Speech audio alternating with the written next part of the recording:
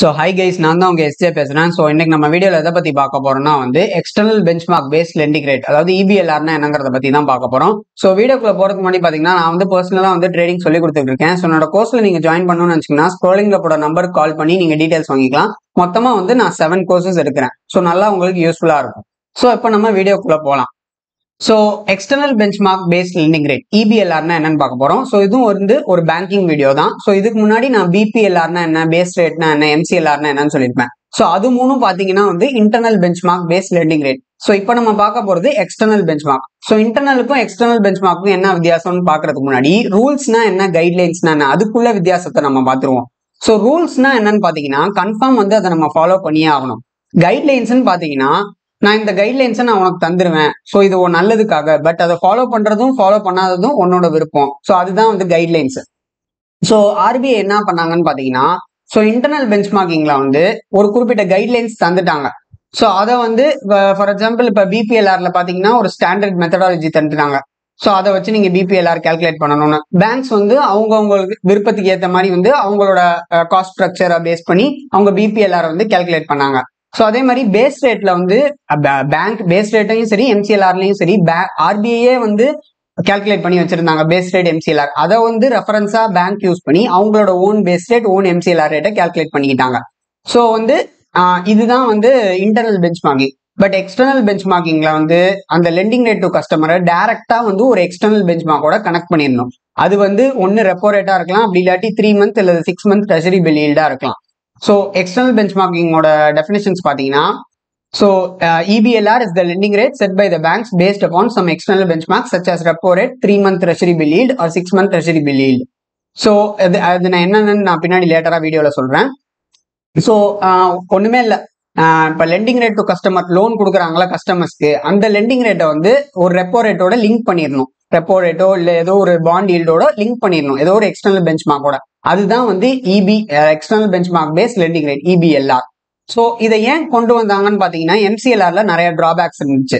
So it was introduced by the RBI in two thousand nineteen replacing the MCLR ஏன்னு பார்த்தீங்கன்னா இப்போ RBI இப்போ repo rate வந்து increase ஆகுதுன்னா இப்போ மானிட்டரி பாலி ஆர்பிஐயோட மானிட்டரி பாலிசி இருக்கும். அந்த மானிட்டரி பாலிசியில் ரெப்போ ரேட் இன்க்ரீஸ் பண்ணாங்கன்னா எம்சிஎல்ஆர் இன்க்ரீஸ் பண்ணணும். ரெப்போ ரேட் டிக்ரீஸ் பண்ணாங்கன்னா எம்சிஎல்ஆர் டிக்ரீஸ் பண்ணணும். பட் என்ன நடந்துச்சுன்னா இவங்க வந்து டிக்ரீஸ் பண்ணப்போ வந்து எம்சிஎல்ஆர் ரேட்டை டிக்ரீஸ் பண்ணல. ஃபார் எக்ஸாம்பிள் வந்து ஆர்பிஐல வந்து இப்போ ஆர்பிஐல மானிட்டரி பாலிசி வந்து மூணு ரெண்டு மாசத்துக்கு ஒரு தடவை சேஞ்ச் பண்ணுவாங்க. அப்போ ரெப்போ ரேட் சேஞ்ச் வந்து அடுத்த மாசமே வந்து மூணாவது மாசத்துல வந்து எம்சிஎல்ஆரோட ரேட் சேஞ்ச் பண்ணும் பட் இவங்க என்ன பண்ணாங்க பன்னெண்டு மாசத்துக்கு ஒரு தடவை தான் வந்து எம்சிஎல்ஆர் வந்து சேஞ்ச் பண்ணாங்க. ஸோ இதனால வந்து கஸ்டமர்ஸ் வந்து அதிகமாக இன்ட்ரெஸ்ட் ரேட் பே பண்ற மாதிரி இருந்துச்சு. ஸோ இதை எலிமினேட் பண்றதுக்காக தான் வந்து இவங்க இபிஎல்ஆர் கொண்டு வந்தாங்க. ஸோ இபிஎல்ஆர் வந்து மூணு மாசத்துக்கு ஒரு தடவை வந்து கன்ஃபார்ம் வந்து அவங்க ரிவைஸ் பண்ணியே ஆகணும். டைரக்டாக வந்து இது லிங்க் ஆயிருக்கும். ஸோ ரெப்போ ரேட் வந்து ஏறிச்சுனாலும் ஏதாச்சும் ஒரு எக்ஸ்டர்னல் பெஞ்ச் கூட அவங்க லிங்க் பண்ணாங்கன்னா அது ஏறிச்சுன்னா இதுவும் அதுக்கு ஏற்ற மாதிரி ஏறும். குறைஞ்சிச்சுன்னா அதுக்கு ஏற்ற மாதிரி குறையும். ஸோ இந்த லெண்டிங் ரேட்ஸ் எல்லாமே வந்து ஃப்ளோட்டிங் லோன்ஸ் தான். ஃப்ளோட்டிங் லோன்ஸ்னா வந்து இன்ட்ரெஸ்ட் ரேட் சேஞ்ச் ஆகும்போது அதுக்கேற்ற மாதிரி சேஞ்ச் ஆகும். அந்த லோனோட லெண்டிங் அந்த லோனோட இன்ட்ரெஸ்ட் ரேட் ஸோ அதுதான் ஃப்ளோட்டிங் லோன்ஸ் ஃபிக்ஸட் ரேட்னா வந்து டென்யூர் முடிகிற வரைக்கும் ஒரே ரேட்டாக இருக்கும். அது வேற. ஸோ இந்த இப்போ நான் சொன்ன எல்லா பெஞ்ச்மார்க் ரேட்ஸுமே வந்து இன்டர்னல் பெஞ்ச்மார்க்காக இருந்தாலும் சரி எக்ஸ்டர்னல் பெஞ்ச்மார்க்காக சரி எல்லாமே வந்து ஃப்ளோட்டிங் லோன்ஸ்க்கு தான். So there was efficient monetary policy transmission after introducing this EBLR so monthly இந்த ரெப்போ ரேட்டை சேஞ்ச் அந்த மானிட்டரி பாலிசியில் என்னெல்லாம் சேஞ்ச் கொண்டு வந்தாங்களோ அதெல்லாம் வந்து இமிடியேட்டாக வந்து இம்பாக்ட் இருந்துச்சு. அதை தான் சொல்ல வராங்க. ஸோ இபிஎல்ஆரோட கேல்குலேஷன் எப்படின்னு பார்த்தீங்கன்னா external benchmark rate plus EBLR சிக்கல் external benchmark rate plus spread so இந்த எக்ஸ்டர்னல் பெஞ்ச் மார்க் ரேட் வந்து பேங்க்ஸுக்கு வந்து ஒரு ஆப்ஷன் இருந்துச்சு. எதை வேணாலும் யூஸ் பண்ணிக்கலாம். அதாவது ரெப்போ ரேட்டை யூஸ் பண்ணிக்கலாம். அப்படி இல்லாட்டி ninety one day treasury bill yield இல்லாட்டி one eighty two treasury bill yield ninety one டேனா ஒன்றும் இல்லை த்ரீ மந்த்ஸ் இதுனா சிக்ஸ் மந்த்ஸ் ஸோ ட்ரெஷரி பில்னா ஒன்றும் இல்லை. கவர்மெண்டோட பாண்டு ஸோ கவர்மெண்ட் வந்து கடன் வாங்கியிருக்கோம். அதுக்கு ஒரு பாண்டு தந்திருக்கும். ஸோ அதுக்கு வந்து ஒரு குறிப்பிட்ட இன்ட்ரெஸ்ட் பே பண்ணும் ஸோ அதுதான் வந்து இந்த ஈல்டுன்னு சொல்லுவாங்க. ஸோ அதோட ஈல்டையும் ஈல்டோடையும் நம்ம கனெக்ட் பண்ணிக்கலாம். அப்படி இல்லாட்டி இது மூணும் use பண்ணாட்டி any other interest rate benchmark publish by the FIL எஃபிஐஎல்னா financial benchmarks India private limited so இவங்க ஏதாச்சும் பெஞ்ச் மார்க் பப்ளிஷ் பண்ணாலும் அதோடையும் நம்ம லிங்க் பண்ணிக்கலாம். ஸோ இந்த நாலு ஆப்ஷன் தான். ஓகேங்களா? சரி. இது okay so external bench mark ரேட்ல இது ஏதாச்சும் நாங்கள் யூஸ் பண்ணிக்கிறோம் இந்த நாலு இதில். இந்த டவுட் கிளியர் ஆயிடுச்சு. ஸ்ப்ரெட்னா எப்படி?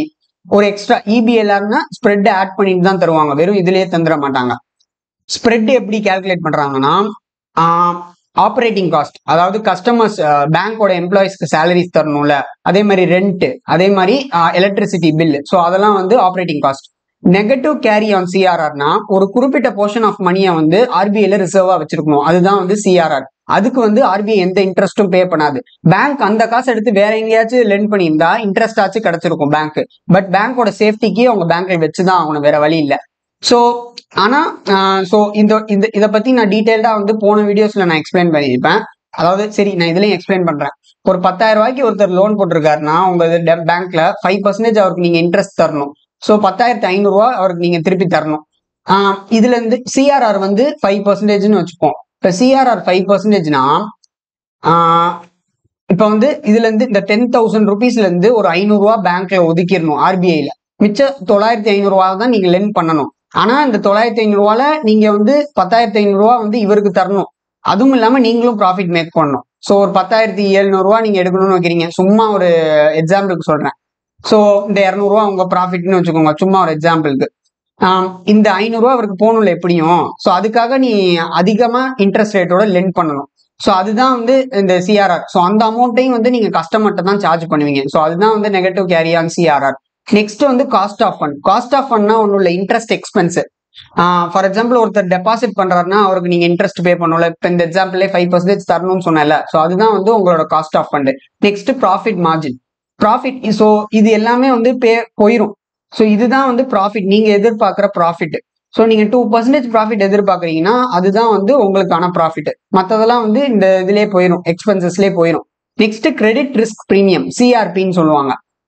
இது ஒன்றும் இல்லை. டிபெண்டிங் அப்பான் த பாரோவர் அவர் வந்து ஒரு ரிஸ்கியான ஆளா அதாவது பிஸ்னஸ் பண்றாரா? இல்ல ஒரு சேஃபான ஆளா? கவர்மெண்ட் எம்ப்ளாயியா இருக்காரா? ஸோ அப்படிங்கிறத பார்த்துட்டு அதுக்கேற்ற மாதிரி நீங்கள் இன்னும் கொஞ்சம் ஒரு இது எக்ஸ்ட்ராவாக ஆட் பண்ணுவீங்க. அதுவும் இல்லாமல் பிஎஸ்பின்னு ஒன்று இருக்கும்.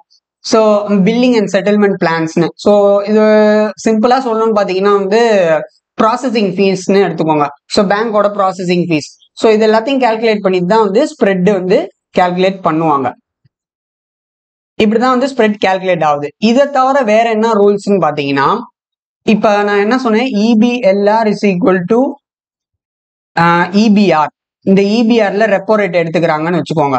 ஸோ ரெப்போ ரேட் இப்போ வந்து சிக்ஸ் பாயிண்ட் ஃபைவ் பிளஸ் வந்து இப்போ கரண்டா இந்த டேட்டுக்கு ஸோ பிளஸ் என்னது? ஸ்ப்ரெட் இந்த ஸ்ப்ரெட் வந்து ஒரு டூ பர்சன்டேஜ்னு வச்சுப்போம். இதோட ஒரு சிஆர்பி சிஆர்பி வந்து ஒரு ஒன் பர்சன்டேஜ் ஆட் பண்றாங்கன்னா அதையும் வச்சுப்போம். இந்த ஸ்ப்ரெட் வந்து மாறவே கூடாது. இந்த ஸ்ப்ரெட் வந்து மாறவே கூடாது. ஸோ இதை கூட கேல்குலேஷன்ஸ்ல எடுத்துருவோம். ஸ்ப்ரெட்லேயே இந்த சிஆர்பி இன்க்ளூட் ஆயிருக்குன்னு வச்சுப்போம். சும்மா. ஸோ இந்த ஸ்ப்ரெட் வந்து இப்போ அஞ்சு வருஷத்துக்கு நீங்க லோன் வாங்குறீங்கன்னா அந்த அஞ்சு வருஷத்துக்கு கொஞ்சம் ஸ்ப்ரெட் மாறவே மாறாது. இது மாறும். இந்த ரெப்போ ரேட் மாறும். அஞ்சு வருஷத்துக்குள்ள ரெப்போ ரேட் நிறைய மாற்றங்கள் இருக்கும். ஸோ அதுக்கேற்ற மாதிரி இந்த இபிஎல்ஆர் மாறும். பட் இந்த ஸ்ப்ரெட் டூ பர்சன்டேஜ் அப்படியே தான் இருக்கணும். இது எப்போ மாற்றலாம்னு பார்த்தீங்கன்னா சப்போஸ் வந்து அந்த கஸ்டமர் வந்து கிரெடிட் ஸ்கோர் அவருக்கு கம்மியாகுது. அதாவது உங்களுக்கு கட்ட வேண்டிய இஎம்ஐயை வந்து ஒழுங்காக கட்டாமல் டிலே பண்ணுறாருன்னா அந்த மாதிரி கிரெடிட் ஸ்கோர் அவர் கம்மியாகும் போது இதை வந்து நீங்கள் two point one two point two two point five அந்த மாதிரி ஏற்றிக்கலாம் வேற என்னன்னு பாத்தீங்கன்னா சப்போஸ் வந்து உங்களுக்கு ஆப்ரேட்டிங் காஸ்ட் வந்து இன்க்ரீஸ் ஆகுதுன்னா அதையும் அது மூலியமா வந்து நீங்க ஸ்ப்ரெட்டை வந்து சேஞ்ச் பண்ணிக்கலாமானா மூணு வருஷத்துக்கு ஒரு தடவை நீங்க பண்ணிக்கலாம். ஆப்ரேட்டிங் காஸ்ட் வந்து சப்போஸ் உங்களுக்கு இன்க்ரீஸ் ஆயிருந்துச்சுன்னா ஸ்ப்ரெட்ல வந்து கொஞ்சம் இன்க்ரீஸ் பண்ணிக்கலாம். ஆனா மூணு வருஷத்துக்கு ஒரு தடவை தான் பண்ண முடியும். நெக்ஸ்ட் லோன்ஸ் கொடுக்குறீங்கன்னு வச்சுக்கோங்களேன். ஹோம் லோன் இருக்கும் கார் லோன் இருக்கும் பர்சனல் லோன் இருக்கும். ஸோ சப்போஸ் வந்து இந்த ஹோம் லோனுக்கு வந்து நீங்க வந்து ரெப்போ ரேட்டை தான் லிங்க் பண்ணியிருக்கீங்கன்னா இப்போ ஒரு கஸ்டமருக்கு வந்து நீங்கள் ரெப்போ ரேட்டில் கொடுத்துட்டு இன்னொருத்தருக்கு வந்து நீங்கள் த்ரீ மந்தோட பாண்ட் ஈல்டில் வந்து கொடுக்கலாமான்னு கேட்டிங்கன்னா கிடையாது.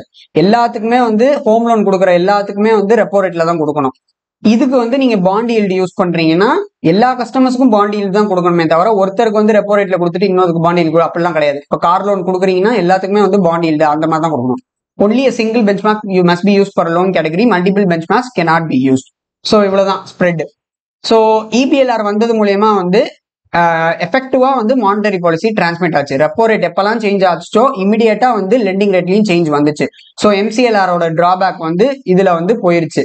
ஸோ ஒன்று நெக்ஸ்ட் வந்து ஸோ இதுதான் மெயின் ஸோ இது வந்து கஸ்டமர்ஸ்க்கும் வந்து ஃபேராக இருந்துச்சு. அதே சமயம் பேங்க்குக்கும் வந்து இது நல்ல ப்ராஃபிட் கொடுத்துச்சு.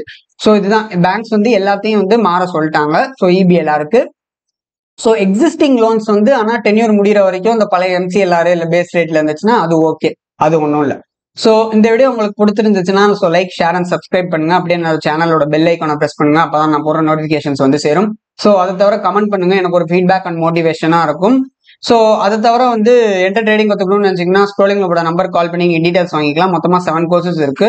ஸோ அதை தவிர வந்து demat and trading open open பண்ணி நினச்சிங்கன்னா ஜிரோத்தாலோட லிங்க் அலைஸ் ப்ளூ லிங்க்லாம் வந்து நான் வீடியோ டிஸ்கிரிப்ஷன்ஸில் கொடுக்குறேன். ஸோ அதில் பார்த்து நீங்கள் ஓப்பன் பண்ணிக்கலாம். ஸோ தேங்க்யூ கைஸ் அடுத்த நான் சந்திக்கிறேன். ஸோ அது வரைக்கும் பாபாய் ஸோ என்னோட சேனல் வந்து only for trading and investing கிடையாது. ஸோ நீங்க ஏதாச்சும் government exams competitive exams banking exams prepare பண்றீங்கன்னா இல்லை யூபிஎஸ்சி ஏதோ ஒரு எக்ஸாம் ப்ரிப்பேர் பண்றீங்கன்னா உங்களுக்கு யூஸ்ஃபுல்லா இருக்கும். இல்லை நீங்க ஃபினான்ஸ் ஃபீல்டில் கரியர் பர்சியூ பண்றீங்கன்னா அதுக்கும் உங்களுக்கு யூஸ்ஃபுல்லா இருக்கும். ஸோ இதை தவிர if you want to listen to my videos on English there is another channel SJ's trading school you can listen to my videos on English on the channel so thank you guys அடுத்த video நான் சந்திக்கிறேன். So அது வரைக்கும் பாபாய் take care